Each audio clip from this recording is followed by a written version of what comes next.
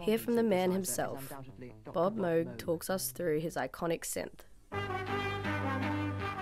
The Moog modular synthesizer first became widely heard in 1968 on a record called Switched On Bach by Walter, now Wendy, Carlos. It was big brother to the best-known synthesizer of all time, the Mini Moog.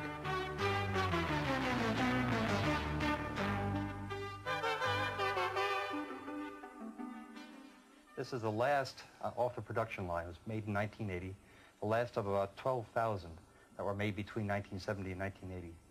It's an analog monophonic synthesizer. That means uh, it makes the waveforms by electronic means and it plays one note at a time.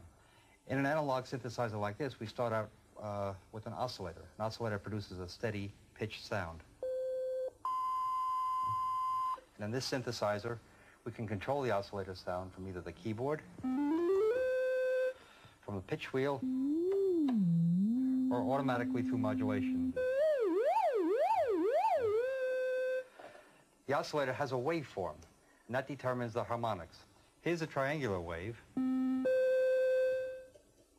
sawtooth, square, and two rectangular waveforms. With all those harmonics, we can shape the sound through filtering. That is, we can cut out these harmonics as the sound goes on. Here's a filter which cuts out the harmonics starting with the highest.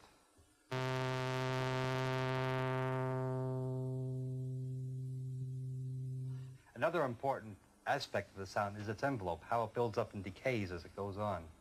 In an analog synthesizer like this, uh, there are four parts to the envelope. The attack, which is the rise, the decay, which is the fall from the highest point, the sustain, which is how loud it is as it, as it continues, and then the release, which is how rapidly it dies to zero when you let go of the key. Here now I have a slow attack and slow decay and fairly low sustain, so you can hear each individual part. First the attack, then the decay, then the sustain, and finally I let go of the key, the release.